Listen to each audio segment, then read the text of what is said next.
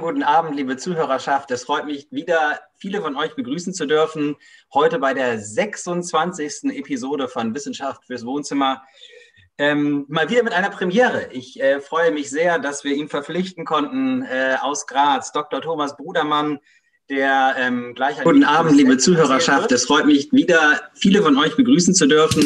Heute bei der 26. so, ähm, nachdem ihr mich vielleicht wieder hört, ähm, was ich hoffe, ich jetzt abgestellt habe. Machen wir weiter. Also, Thomas Budermann aus der Uni Graz ist bei uns. Und natürlich bin auch ich nicht alleine, sondern unser Moderatorenteam ist verstärkt mit Melissa und Rebecca, die sich auch mal kurz vorstellen werden. Zwei Worte noch zu mir. Ich bin ähm, AWI am Wissens- und Technologietransfer, äh, im Wissens- und Technologietransfer tätig. Habe euch schon mal mit auf Kultur genommen, ganz, ganz, ganz am Anfang, Episode 2, so roundabout. Und äh, ja, bin gespannt, was die anderen zu erzählen haben. Viel Spaß euch. Hi zusammen, äh, einen wunderschönen guten Abend auch von meiner Seite. Mein Name ist Melissa und ich bin in der Tiefseegruppe am Alfred-Wegener-Institut äh, tätig. Da beschäftige ich mich mit kleinen Bodelebewesen, Bodelebewesen, die auf dem arktischen Tiefseeboden sich befinden. Und wenn ihr Lust habt, mal ein bisschen was über meine Forschung zu erfahren, dann schaut doch einfach mal in Episode 4 von Wissenschaft des Wohnzimmer vorbei. Da erzähle ich euch nämlich ein bisschen was dazu. Guten Abend ähm, zusammen. Ich heiße Rebecca und ich arbeite auch im Alfred Wegener Institut. Ich bin Meeresphysikerin. Ähm, ich nutze Messungen, ähm, zum Beispiel Temperatur oder Ge Ge Gewichtigkeit. Ich komme aus Schottland. zum Studieren die Gletscher in in, ähm, in Grönland und warum ähm, sie schmelzen, sie, sie schmelzen. Ähm, und ähm, jetzt wir haben ähm, Thomas. Einen schönen guten Abend aus Graz in Österreich. Ich glaube, Karl Kraus hat einmal gesagt, was Österreich und Deutschland trennt, ist die gemeinsame Sprache. Äh, ich werde trotzdem versuchen, mich einigermaßen verständlich auch für die deutschen Kolleginnen und Kollegen auszudrücken. Falls ich hin und wieder trotzdem ins Österreichische reinfall, bitte mir das nachzusehen. So, ich versuche jetzt meinen Screen einmal zu scheren und hoffe, das hat äh, jetzt funktioniert.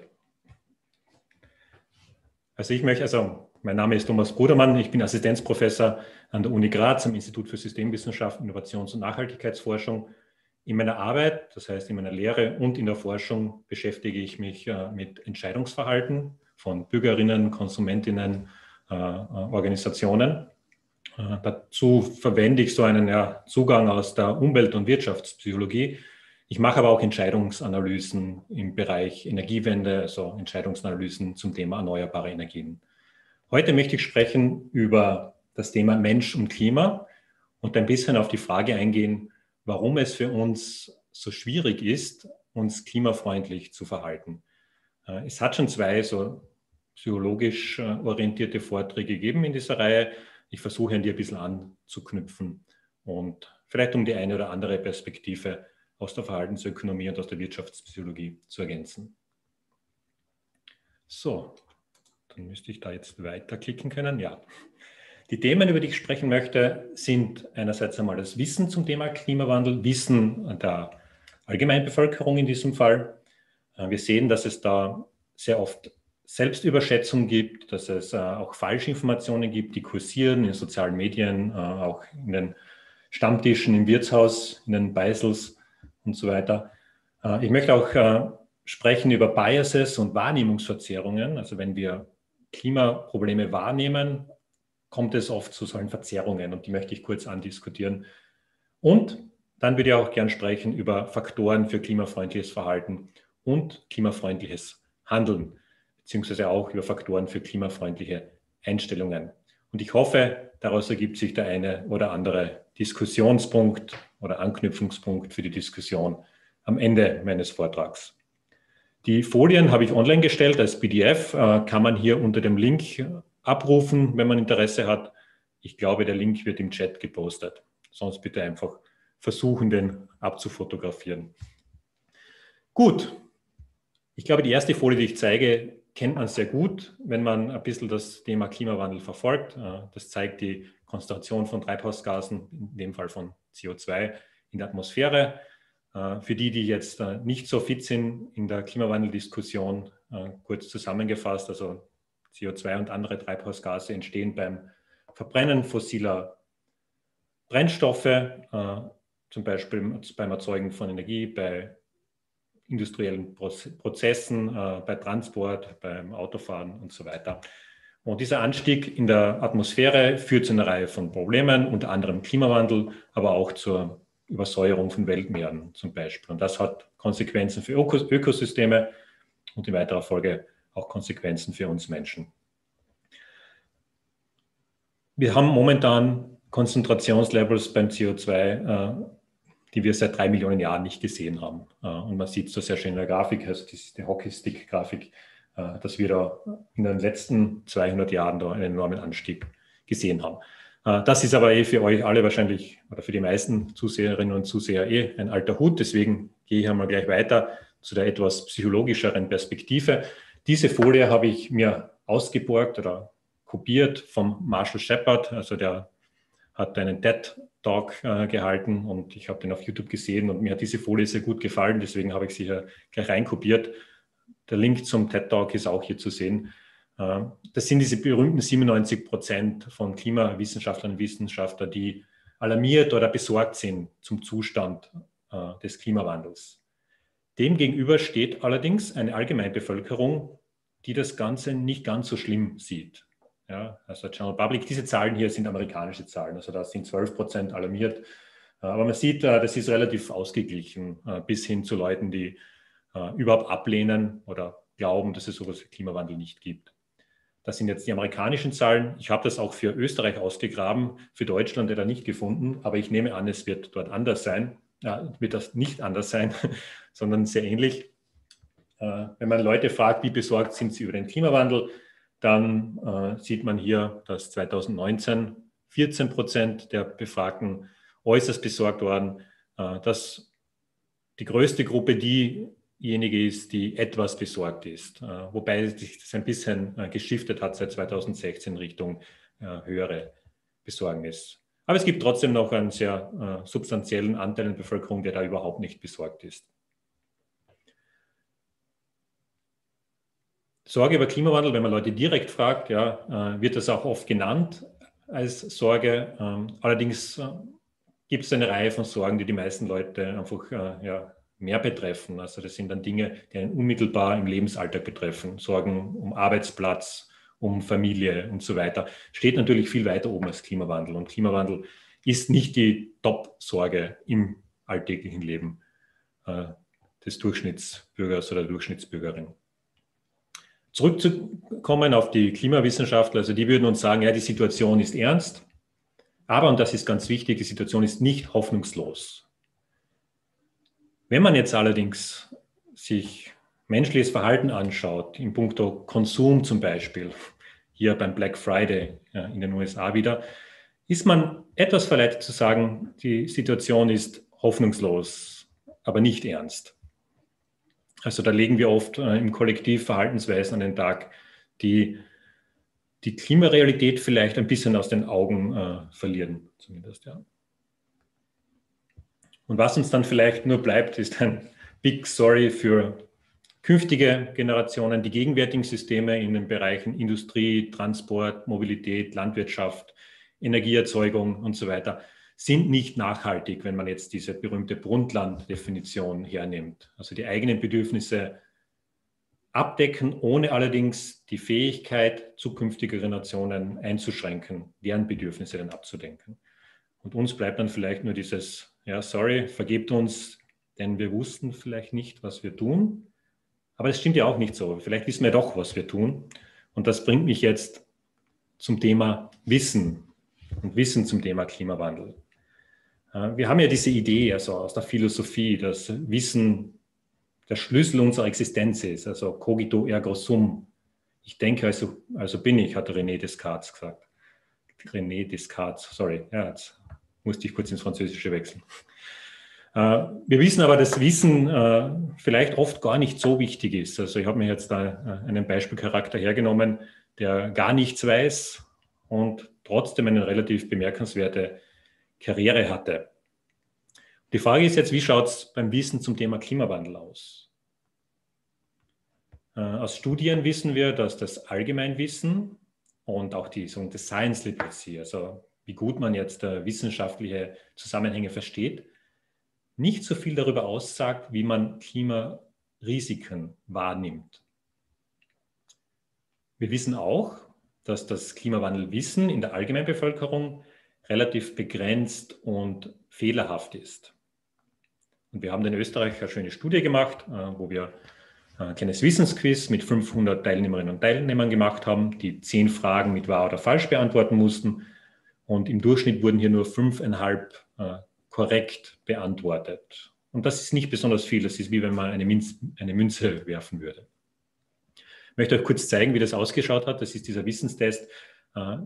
Äh, die Schrift auf dieser Folie ist vielleicht etwas klein, also wenn ihr auf mobilen Geräten zuseht, äh, kein Problem. Ich fasse es kurz zusammen. Wir haben da einfach Statements äh, zu bewerten gegeben, zum Beispiel das Ozonloch ist die Hauptursache für den Treibhauseffekt oder Wasserdampf ist ein Treibhausgas oder ein Dieselfahrzeug versucht mehr CO2-Emissionen pro Personenkilometer als ein vergleichbares Benzinfahrzeug. Und die Teilnehmerinnen und Teilnehmer mussten bewerten, ob diese Statements wahr oder falsch sind. Und da wurden eben im Schnitt nur die Hälfte korrekt bewertet. Ähm, wir haben auch die Leute gefragt, wie sicher sie sich ihrer Antwort sind. Also wir haben auch die Confidence, das Confidence Level in die eigenen Antworten abgefragt. Da hat sich auch was Interessantes gezeigt. Hm, dazu komme ich dann gleich auf einer der nächsten Folien. Äh, auf jeden Fall haben wir gesehen, dass der Kenntnisstand zu Themen wie die Rolle von Wasserdampf oder Dieselautos versus Benzinautos oder auch die Rolle vom Ozonloch und die Existenz eines natürlichen Treibhauseffekts nicht wirklich sehr gut verankert sind im Allgemeinwissen oder im Wissen der Allgemeinbevölkerung. Zum Beispiel wissen nur oder glauben nur äh, 16 Prozent der Befragten, dass Wasserdampf, Wasserdampf auch ein Treibhausgas ist, sind sich dabei aber im Schnitt zu 80 Prozent sicher. Also da ist eine ziemliche Diskrepanz zwischen der Einschätzung über das, was man weiß und was man tatsächlich weiß, zu sehen. Ähnlich auch beim Ozonloch. Äh, 60 Prozent der Befragten glauben, dass das Ozonloch ein Hauptgrund für die Klimaerwärmung ist. Und sind sich dabei auch noch ziemlich sicher. Hm, und das gibt dann schon zu denken. Also da gibt es äh, anscheinend das eine oder andere Missverständnis und die eine oder andere Herausforderung für die Klimawandelkommunikation. Was wir eben auch sehen, ist diese Overconfidence, also diese etwas ja, inakkurate Einschätzung des eigenen Wissensstands diese Katze hier äh, auf dieser Folie glaubt zu wissen, dass sie es mit einem Vogel zu tun hat. Vogel ist ein Beutetier.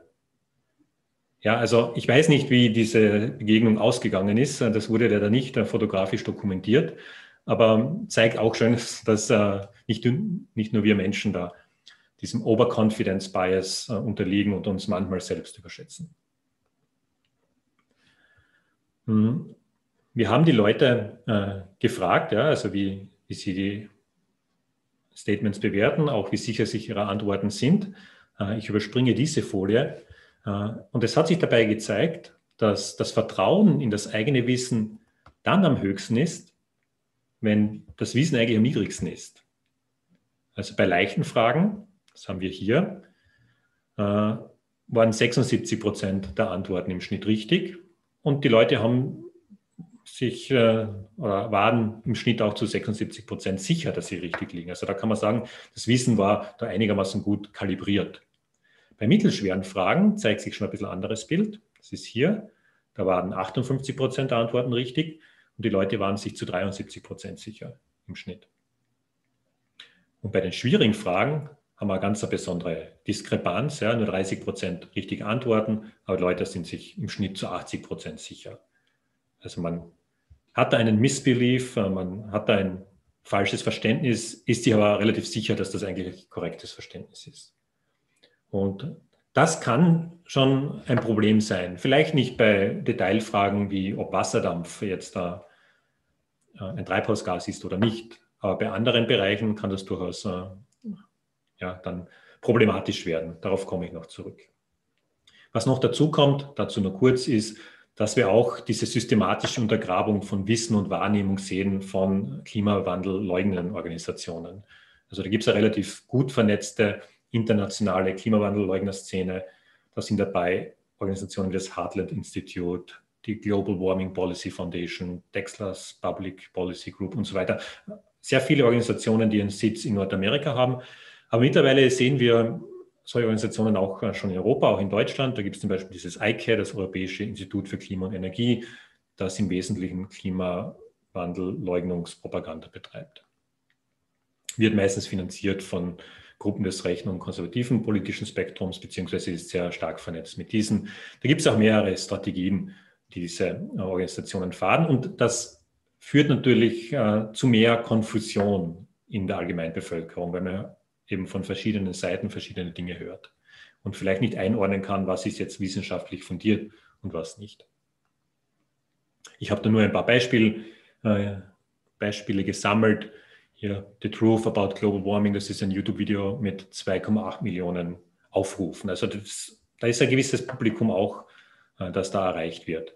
Deutschsprachige Klimaleugnungsvideos sind da nicht so häufig. Also ich habe ein paar gefunden, aber da reden wir jetzt von maximal 150, vielleicht 200.000 Zugriffen, was aber auch beachtlich ist. Also da ist ja durchaus ein Publikum da, das diese Falschinformationen konsumiert.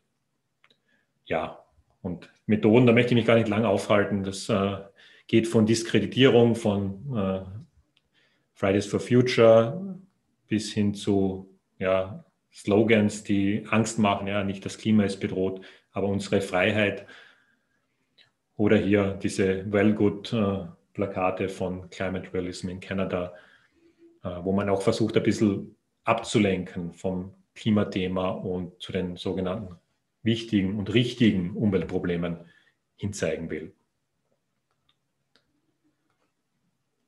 Es wundert dann auch nicht, dass da beträchtliche Summen von Geld reinfließen. Ja. In Europa ist diese Szene noch nicht ganz so stark. Ja, also da haben wir nicht so massive Probleme mit Klimawandelleugnungsgruppen, aber durchaus äh, gibt es einen nicht unwesentlichen Teil in der Bevölkerung von Österreich, Deutschland, Schweiz, die die Idee, dass Klimawandel stattfindet, überhaupt komplett ablehnen. Andererseits sehen wir momentan auch noch äh, sehr gute Akzeptanz für äh, Klimapolitik. Also 79 Prozent der EU-Bürgerinnen sehen den Klimawandel als erstes Problem und 70 Prozent stimmen zu, dass Adaptionsmaßnahmen positive Effekte auf Bürgerinnen haben können.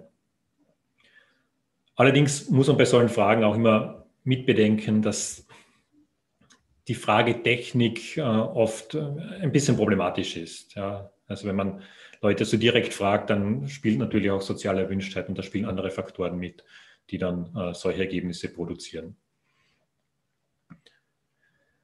Gut, Jetzt ist natürlich die Frage, spielt Klimawandelwissen eine Rolle für klimafreundliches Verhalten? Und da sehen wir, und das wurde auch schon gesagt in einem früheren Vortrag, dass Wissen über den Klimawandel nicht unbedingt zu klimafreundlicherem Verhalten führt. Aber, und das ist ja eine wichtige Ergänzung, Bewusstsein und Wissen sind wichtige Determinanten für die Akzeptanz von Klimawandelmaßnahmen. Wenn man ein besseres Verständnis von den physikalischen Prozessen hat und auch von den Konsequenzen von Klimawandel, dann tendiert man auch dazu, Maßnahmen, die dem entgegenwirken, besser zu akzeptieren. Und ich glaube, im öffentlichen Diskurs ist das ein wichtiger Faktor. Es ist grundsätzlich problematisch, wenn man, ich muss mal kurz was verschieben, so, wenn man die Verantwortung immer voll und ganz auf die Bürgerinnen und Bürger abwälzen will. Ja, es braucht schon auch die gesetzlichen Rahmenbedingungen, damit klimafreundliches Verhalten möglich ist.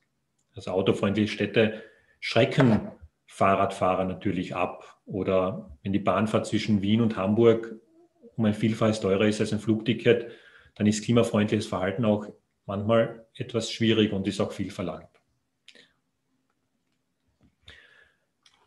Wenn wir jetzt ein bisschen weitergehen, weg vom Klimawandel wissen hin äh, zur Wahrnehmung von Klimawandel.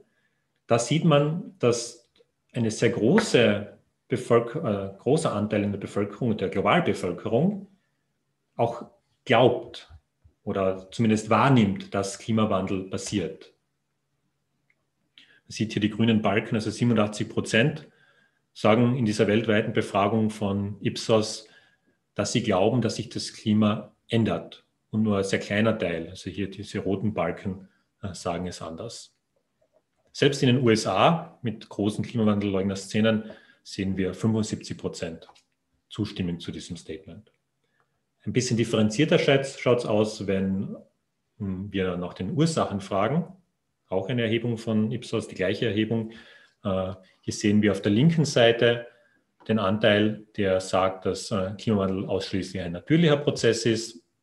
Und hier mit, äh, der gelben, dem gelben Balken beginnt dann ja, der Human Influence, also der menschliche Einfluss. 34 Prozent sagen, dass Klimawandel hauptsächlich durch menschlichen Einfluss, menschlichen Einfluss ja, geändert wird. Und 22 Prozent sagen sogar, äh, es ist ausschließlich menschlicher Einfluss.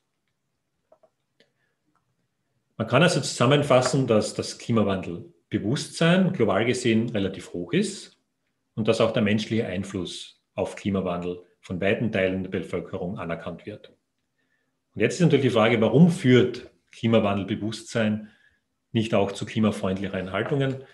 Äh, da möchte ich jetzt einfach verweisen auf äh, einen Vortrag, der es im August gegeben hat von der Katharina van Bronswijk, warum wir nicht tun, was wir wissen. Im Chat wird wahrscheinlich gesagt werden, welche Folge das genau war, wird es vielleicht auch verlinkt. Das heißt, diesen Teil überspringe ich und bringe noch ein paar Ergänzungen dazu. Hm, da gibt es zum Beispiel dieses, diesen Faktor, diesen verhaltensökonomischen Faktor des Temporal Discounting des Abzinsens über die Zeit. Wir neigen dazu, dass wir nicht so angenehme Entscheidungen, angenehme Verhaltensweisen eher in die Zukunft verschieben. Also ganz salopp gesagt, äh, heuer möchte ich noch einmal in Urlaub fliegen, ich möchte das argentinische Steak essen und den australischen Rotwein dazu trinken, aber später dann werde ich schon meine Flugreisen irgendwann reduzieren und mich sowieso gesünder ernähren und so weiter. Und dieser Fokus auf die Gegenwart und das Abzinsen der Zukunft ist ja evolutionär gesehen eine recht erfolgreiche Strategie gewesen. Also, dass wir äh, uns auf das Hier und Jetzt evolutionsgeschichtlich äh, konzentriert haben, war ja auch äh, lange Zeit ein Vorteil. Allerdings werden zukünftige Klimarisiken jetzt eben auch als weniger wichtig wahrgenommen als die momentanen, die aktuellen Vorteile von carbonintensiven Lifestyles. Dann gibt es noch diesen Gap, also diese Lücke zwischen Sorge und Handeln, zwischen Concern und Action im Englischen. Ich tue mir manchmal schwer, da die richtigen deutschen Wörter dafür zu finden, weil die Fachliteratur dazu natürlich auch größtenteils auf Englisch ist. Ähm, es ist tatsächlich so, dass wenn man an die Existenz des Klimawandels glaubt, beziehungsweise Klimawandel als gegeben akzeptiert, dass das äh, sehr solide Auswirkungen auf die Handlungsintentionen, auf die Absichten hat. Aber leider nur kleine bis moderate Auswirkungen auf den tatsächlichen CO2-Fußabdruck. Da gibt es äh, eben andere Faktoren, oft äh, soziodemografische Faktoren, sozioökonomische Faktoren, die wichtiger sind.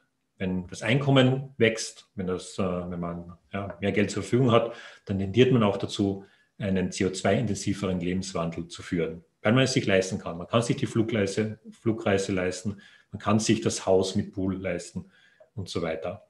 Und Sorge über Klimawandel hat da nicht so viel äh, Erklärungspotenzial für nicht so klimafreundliches Verhalten. Ja, und wir haben auch äh, in der österreichischen Studie gesehen, die wir durchgeführt haben, dass Klimawandel Besorgnis nicht wirklich einen Effekt auf Verhalten hat. Da gibt es noch äh, ein paar andere psychologische Faktoren, die da eine Rolle spielen. Ich tue eh schon etwas Faktor zum Beispiel. Also man kann ja sich leichter rechtfertigen, warum man in einem Bereich vielleicht nicht so klimafreundlich ist, weil man eh schon woanders etwas macht. Ich fahre ja schon mit dem Zug. Ich schalte das Licht aus, wenn ich aus dem Raum rausgehe. Und dann wird es doch noch okay sein, wenn ich mir die Freiheit nehme, ein bis zweimal im Jahr in den Urlaub zu fliegen. Das nennt man dann in der Fachliteratur Moral, Moral Licensing, dass ich es rausbringe. Also man versucht da verschiedene Verhaltensweisen gegeneinander aufzuwiegen. Sind übrigens auch Wissenschaftler nicht davor gefeit. Also es gibt auch Klimaforscher, die sehr viel fliegen, die zu Klimakonferenzen fliegen, zu wissenschaftlichen Konferenzen und das sich selbst gegenüber rechtfertigen mit dem Argument, ja, aber wir arbeiten ja an der Verbesserung des Problems, an Klimaschutzmaßnahmen und so weiter und da muss man halt fliegen. Äh, mag ja auch ein rechtfertiges Argument sein, aber es hilft auch dabei, äh, das eigene nicht so klimafreundliche Verhalten dann zu rechtfertigen. Wir haben auch oft einen, hoppla, das war ich schon zu weit, Single Action Bias, hm, dass eben äh, ja, das Verhalten in einem Bereich, das klimafreundliche Verhalten in einem Bereich ist Entschuldigung für nicht so freundliches Verhalten in anderen Bereichen hergenommen wird.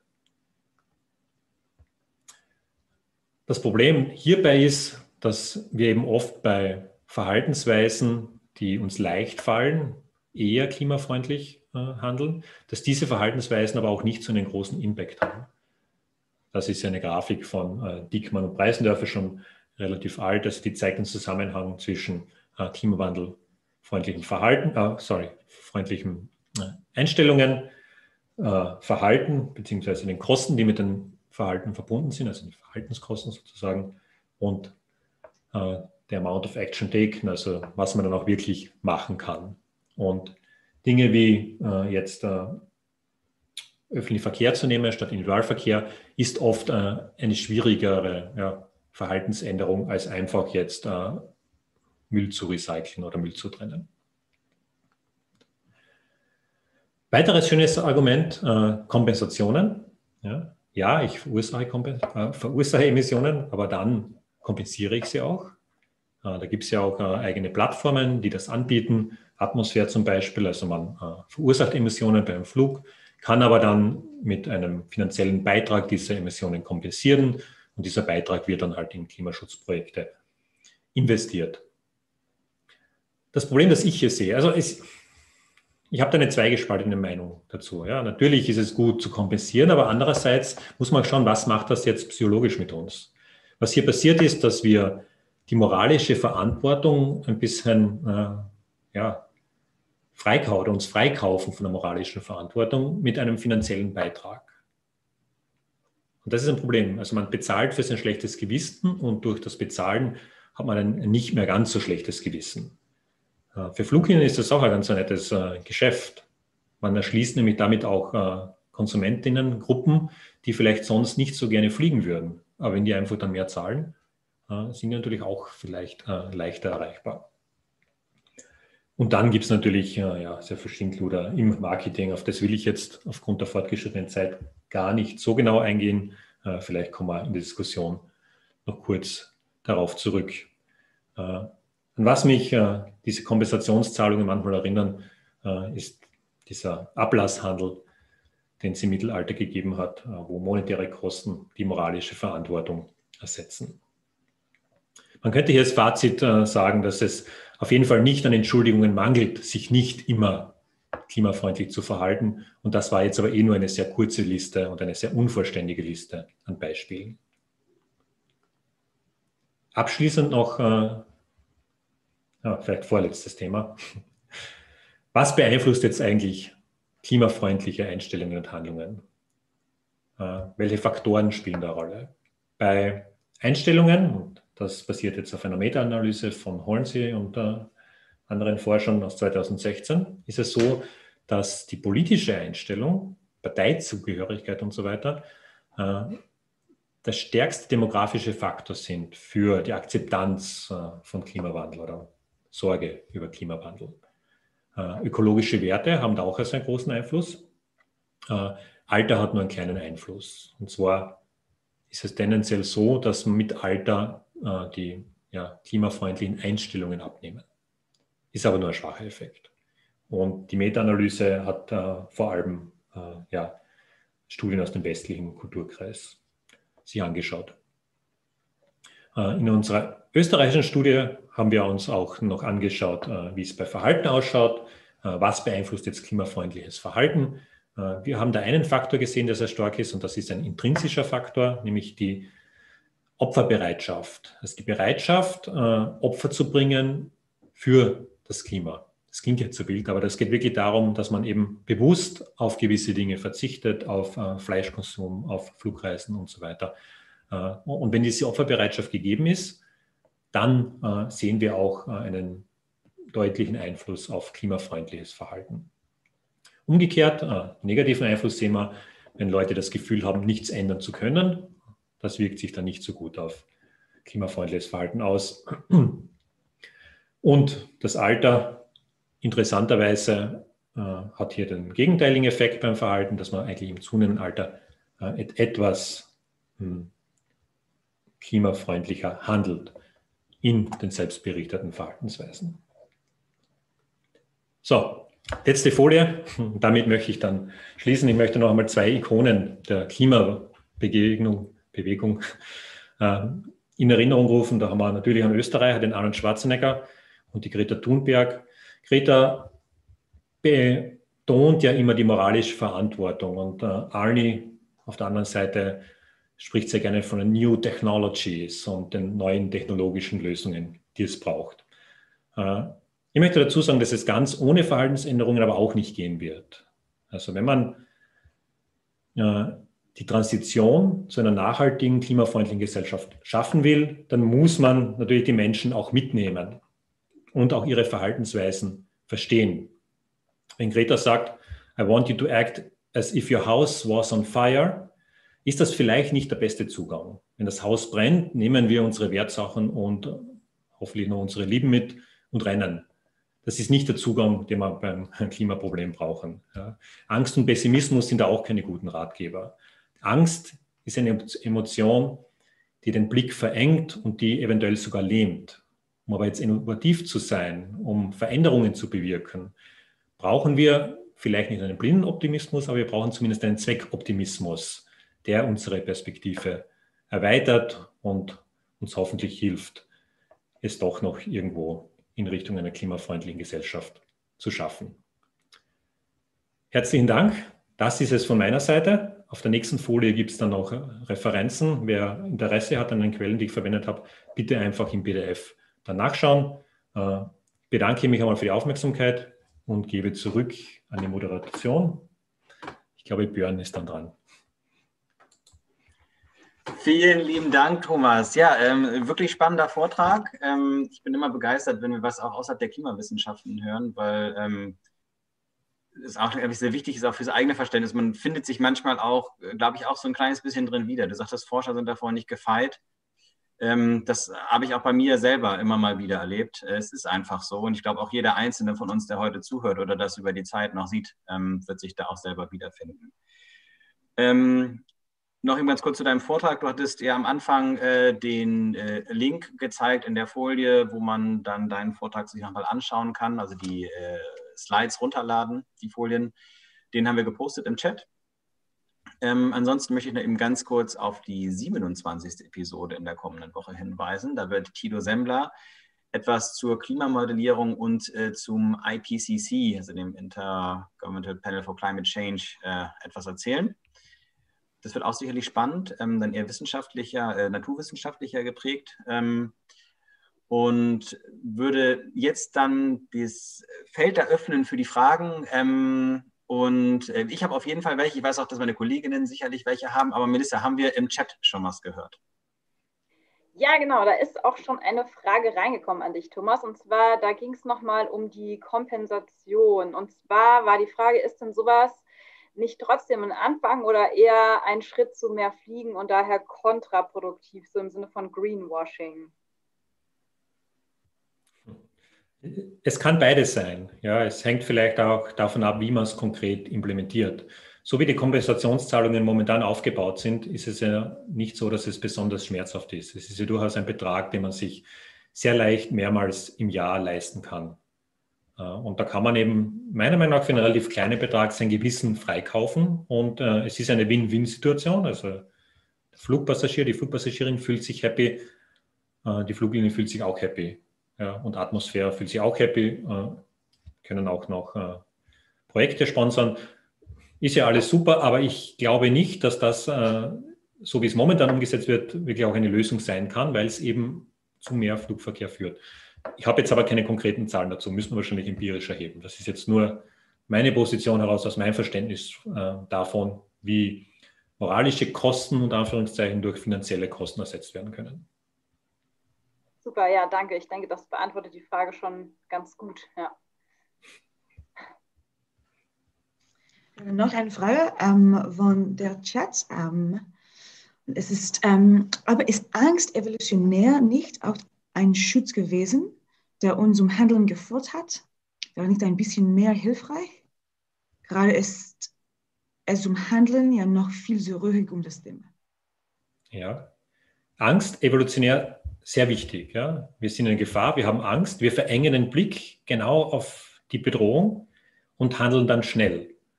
Wenn ich jetzt vor einem Tiger stehe, vor einem Bären im, mitten im Wald, dann ist das sehr nützlich. Ist aber auch eine sehr, unter Anführungszeichen, einfache Situation. Ja, da ist das Raubtier, da bin ich. Ja, wenn wir jetzt vom Klimawandel sprechen und von äh, Lösungen, wie wir äh, dieses verzwickte äh, System Klima, Mensch, Umwelt, Industrie, Wirtschaft, äh, wenn wir das in Richtung Nachhaltigkeit führen wollen und äh, Klimafreundlichkeit, dann ist, glaube ich, Angst kein guter Faktor, weil Angst uns eben nur die einfachen Handlungsoptionen zeigt. Und wir für dieses enorm komplexe Problem, aber eben auch mit entsprechend komplexen Antworten antworten müssen. Ja, ja, natürlich, aber der, der Verschieden zwischen die zwei ist, ist sehr interessant. Ja, ähm, ich sehe noch eine Frage. Zebra-Twist ähm, hat auch nochmal, und ist mir auch aufgefallen, du hattest ja ähm, ganz schön gezeigt, wie das Verständnis in der Welt so allgemein davon ist, äh, Klimawandel, äh, ja nein, das ist ein Problem und das ist da ähm, zum Beispiel in Ländern von Südamerika äh, irgendwie lag dieser prozentuale Anteil bei, ich glaube, über 90 Prozent von Leuten, die ähm, das als, ich glaube, Problem sehen, ne, war die Frage. Ähm, wohingegen wir bei uns in Deutschland äh, auch, glaube ich, nur ein Prozent besser sind als die USA, irgendwie so um die 75 Prozent äh, da liegen. Hast du da eine Erklärung für? Und vielleicht nochmal für die, die es nicht wissen, kannst du noch, ähm, du sagtest, es kämen, sehr, wären Daten von, von Ipsos, eben kurz sagen, wer, wer oder was Ipsos ist für die Zuhörer und Zuhörerinnen. Ja, also Teil 1 der Frage, hm, warum hat man in einigen Ländern ein größeres Problembewusstsein. Also das hat schon auch damit zu tun, wie man die Konsequenzen spürt. Ja? Also wenn man Klimawandelkonsequenzen spürt, äh, ist es äh, per se mal wahrscheinlicher, das auch ja, wahrzunehmen und auch bei Fragen nach Klimawandel entsprechend zu antworten. Es hängt aber auch sehr stark vom öffentlichen Diskurs im jeweiligen Land ab. Und der ist jetzt äh, zum Beispiel in den USA sehr viel stärker polarisiert anhand, äh, anhand der ja, Gräben zwischen den Parteien, Konservative versus Liberale, Demokraten versus Republikaner. Ja. Äh, warum das in Deutschland auch so stark ist, habe ich jetzt nicht unmittelbar eine Erklärung dafür, außer dass wir jetzt äh, die unmittelbaren, von Klima, Klima, äh, unmittelbaren Folgen von Klimawandel vielleicht äh, noch nicht ganz so stark spüren und gleichzeitig auch diese Links-Rechts-Polarisierung mehr spüren. Aber da spekuliere ich jetzt eher. Ja, das ist eine mögliche Erklärung, ist sicher nicht die einzige. Zu Ipsos, ja, äh, diese Daten, das ist äh, eine, ich müsste, müsste jetzt nachschauen, äh, ich habe es jetzt nicht genau im Kopf, ist auf jeden Fall eine internationale Befragung gewesen. Und ich glaube, ist ein Marktforschungsinstitut mit Sitz in, aber da müsste ich nachschauen, nachgucken. Ja, aber das können wir einfach mal äh, ganz einfach machen für, für die, die sich das dann nachher nochmal anschauen. Wir werden dann in den Kommentaren einfach nochmal eben kurz sagen, wer oder was Ipsos ist. Mhm. Ähm, da wird Thomas das dann eben äh, dann nachtragen, dass die Leute sich das vielleicht fragen, äh, okay, ist das jetzt äh, ein Tabakwarenhersteller, irgendwas anderes, ist, äh, wo ja dann Klimawandelleugner vielleicht auch sagen, äh, mhm. komische Organisation. Nein, aber das wird äh, Thomas noch einmal kurz nachtragen. Ja, man, muss bei solchen Befragungen immer vorsichtig sein. Die, die Zahlen sind Anhaltspunkte. Ja. Ich würde jetzt nicht äh, auf Punkt und Komma immer ganz genau äh, so nehmen, wie sie sind, aber sie liefern zumindest so ungefähre Anhaltspunkte. Und man hat eben dann auch eine gewisse Vergleichbarkeit, wenn das in mehreren Ländern mit den gleichen Fragen gemacht wird. Zu dem Thema Klimaleugner habe ich vielleicht auch selbst noch eine Frage. Also wie würde man, also du hattest gezeigt, dass es einfach extrem viele von diesen Klimaleugner-Videos auch gibt und so. Und ich meine, Jetzt sind wir ja irgendwie alle so ein bisschen auf YouTube aktiv und dann erscheinen da so Videovorschläge und dann klickt man halt mal da drauf. Wie würde man denn jetzt als Otto Normalverbraucher merken, dass man gerade auf so einem Klimaleugner-Video ist? Beziehungsweise kannst du das irgendwie ausmachen, woran man erkennt, dass das jetzt vielleicht total verdrehte Argumente sind? Oder weil vielleicht ist es ja so, ich schaue mir die ersten zehn Minuten an und denke so, wow, ja, das ist total stimmig und schlüssig und merke das erst gar nicht so richtig, weil ich halt einfach kein Wissenschaftler, keine Wissenschaftlerin bin. Ja, das ist, also da würde ich fast ein bisschen weiter jetzt ausholen. Also wir haben ja sowas wie einen Confirmation Bias. Äh, wenn wir Informationen wahrnehmen, nehmen wir die ja nicht äh, komplett ungefiltert und äh, objektiv wahr, sondern wie wir die Informationen wahrnehmen und interpretieren, hängt sehr stark von unserem bereits existierenden Weltbild ab. Äh, das heißt, wenn ich äh, eh schon skeptisch bin, dass äh, Klimawandel passiert und dann habe ich noch ein Video, das mir das bestätigt, ja, super. Wenn ich aber jetzt gleichzeitig für diesen Channel sehe, als Klimawandel-Skeptikerin, dann genau, das ist ja alles ein Blödsinn. Das stimmt ja alles nicht, weil es eben nicht mit meinem Weltbild zusammenpasst. Und jetzt funktionieren halt leider auch die sozialen Netzwerke wie YouTube, Facebook, Twitter und so weiter so, dass sie diesen Confirmation Bias äh, verstärken. Also man kennt ja diesen Begriff Filterbubble das, was ich anschaue, hat einen Einfluss darauf, was mir später vorgeschlagen wird an weiteren Videos. Und da trifft man dann sehr leicht in so eine Klimawandelleugner-Bubble ab und kriegt dann nur mehr solche Videos und äh, das verstärkt dann das Weltbild dann immer mehr. Wie man jetzt erkennen kann, ob was mit so einem Video zu tun hat, ganz schwierig. Weil das sind ja natürlich, also kommt jetzt drauf an, es ist ja oft sehr gut gemacht. Ja. Was, was ich meistens mache, wenn ich äh, so ein Video sehe, äh, ich versuche die Fakten irgendwo zu checken. Und da gibt es eine ganz tolle Webseite, skepticalscience.com, äh, wo man eigentlich diese ganzen Klimawandelleugner-Argumente sich in einer Liste anschauen kann und dann aber auch die peer-reviewte Literatur, also die Fachliteratur und Forschungsliteratur zusammengefasst kriegt, die dann sagt, was wirklich Sache ist und was von dem Argument zu halten ist. Ja, gut, also da muss man dann auch selbst so ein bisschen wachsam sein, würde ich jetzt mal auch daraus entnehmen eigentlich, ne? dass man einfach immer vielleicht kritisch ist, dass man nicht alles, was einem serviert wird, einfach immer als gegeben nimmt, ne? dass man da auch ein bisschen, ja, mal nachdenkt, sein Hirn anschaltet. Das darf man ja dann auch gerne, wenn man ein YouTube-Video guckt.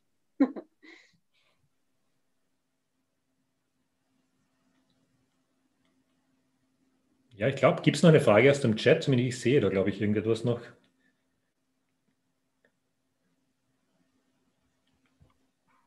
Wir haben ähm, eine Frage noch aus dem Chat äh, von jemandem etwas unglücklichen Kürzel, würde ich mal sagen. Äh, wie gut kann man heutzutage denn schon klimafreundlich leben? Kann es sein, dass die Diskrepanz zwischen klimafreundlichem Verhalten und Bewusstsein so groß ist aufgrund der geringen Alternativen? Ja, ist äh, trotz des fragwürdigen Kürzels eine berechtigte Frage, ist natürlich nicht immer leicht.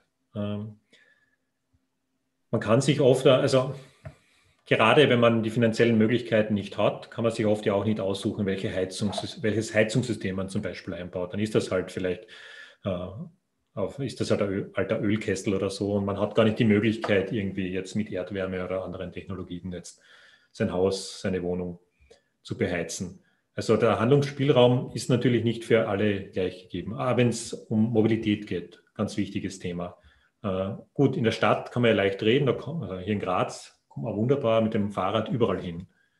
Ja, aber wenn ich jetzt am Land lebe und mir vielleicht die Miete in Graz nicht leisten kann, dann müsste ich halt herpendeln. Je nachdem, wo ich bin, äh, kann ich das dann vielleicht mit dem Zug machen, aber vielleicht brauche ich dann auch wirklich ein Auto dafür.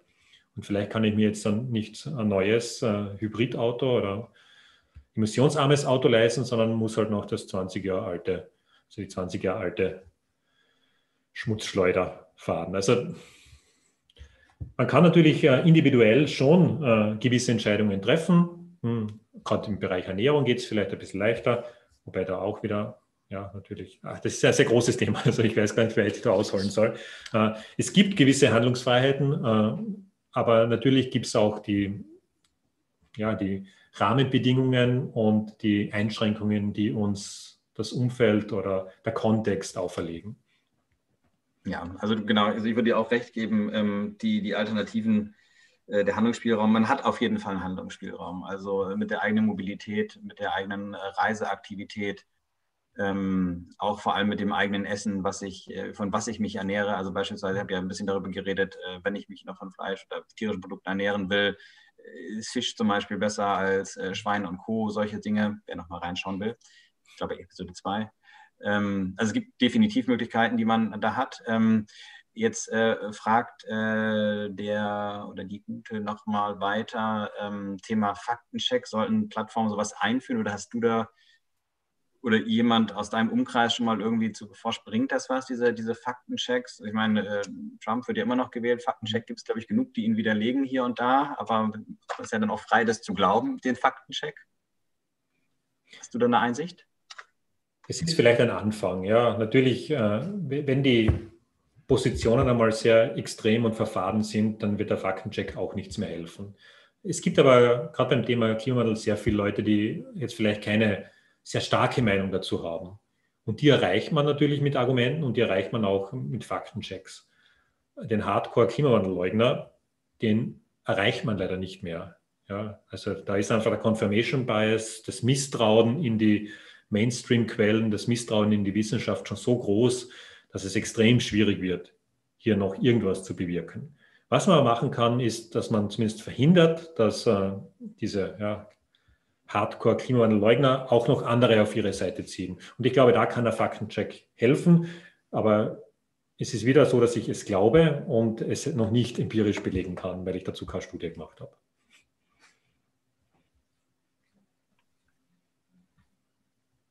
So, ansonsten sehe ich im Chat gerade keine weitere Frage mehr. Ich selber hatte mich gefragt, ähm, vielleicht als abschließende Frage auch in Anbetracht der fortgeschrittenen Zeit, aber ich möchte sie einfach nochmal stellen, ähm, die Erkenntnisse, die du uns jetzt quasi mitgeteilt hast, also quasi unsere menschliche ähm, Unfähigkeit möchte ich nicht sagen, aber dieses, dieses, dieses menschliche Problem mit dem Erfassen der Problematik und dem Umstellen des eigenen Handels, das auch jeder von sich selber kennt. Ne? Also ich habe für mich mal früher gedacht, okay, wenn es mir mal schwerfällt, beim, beim Händewaschen den Wasserhahn zwischendurch auszumachen, wenn ich schon darüber nachdenke, der auch quasi Klimawandel einigermaßen zumindest überblickt und trotzdem manchmal äh, denke, ah, hätte ich auch gleich ausmachen können. Wenn ich bei solchen einfachen Dingen schon mal äh, spreche, ähm, ist, spricht es dann dafür, aus deiner Sicht, dass dann eher politische Leitung oder Steuerung oder andere Mechanismen greifen müssen, um uns zum Beispiel dahin zu bringen, dass wir äh, unser Klima äh, wirkungsvoller schützen können? Also Beispiel ein Price Tag für CO2, was auch immer. Was ist da deine Meinung wahrscheinlich eher ja, das ist dieses Wechselspiel zwischen Politik und äh, Gesellschaft, Bürgerinnen und Bürgern. Äh, die Bürgerinnen und Bürger wählen die Politik und die Politik sollte dann top-down Entscheidungen treffen und die müssen dann aber auch akzeptiert werden. Und das ist halt oft so ein etwas kompliziertes Wechselspiel. Äh, es ist aber durchaus so, dass unsere Entscheidungen ja jetzt nicht äh, auf einer grünen Wiese stattfinden, sondern sehr stark von den Kontextfaktoren abhängen. Und um klimafreundliche Entscheidungen treffen zu können, braucht es halt dann auch die Möglichkeit und braucht es auch den Kontext. Also ja, ich bin absolut dafür, dass es CO2-Price-Tags gibt. Äh, ich wäre absolut dafür, dass es Kostenwahrheit gibt beim Fliegen, also dass wirklich äh, langzeitige, äh, langfristige Klimafolgen mit eingepreist werden, denn das passiert ja momentan nicht. Ja, auch wenn wir jetzt von Energie reden, also von Kohlekraftwerken. Das sind ja die Umweltauswirkungen nicht wirklich eingepreist. Die werden dann eher der Allgemeinheit aufgehalst. Übrigens auch bei der Kernkraft. Ja. Also Kernkraft ist ja deshalb so billig, weil eben nicht mit eingepreist ist, dass da die Abfälle dann jahrhundertelang sicher gelagert werden müssen. Sondern das ist dann ein Problem für Folgegenerationen. Und da sehe ich schon die Politik in der Pflicht, äh, die Rahmenbedingungen zu schaffen. Dafür, dass wir uns als Konsumentinnen und Konsumenten, Bürgerinnen und Bürger auch entsprechend klimafreundlich entscheiden können. Denn wie gesagt, das geht einfach nicht immer, weil es ja in vielen Bereichen sehr viele Einschränkungen gibt. Wunderbar, vielen lieben Dank äh, für deine ähm, persönliche Einschätzung nochmal dazu. Ähm, Ich bedanke mich auch bei Melissa und Rebecca. Danke, dass ihr da wart äh, und äh, uns unterstützt habt. Äh, auch vielen Dank und, und äh, schönen Abend an die ganzen äh, österreichischen äh, Freunde und Freundinnen, die heute zugeschaut haben. Ich hoffe, du hast sehr viel Werbung gemacht. Und ich hoffe, ihr seid auch beim nächsten Mal wieder dabei. Bis dann. Ciao, ciao. Tschüss.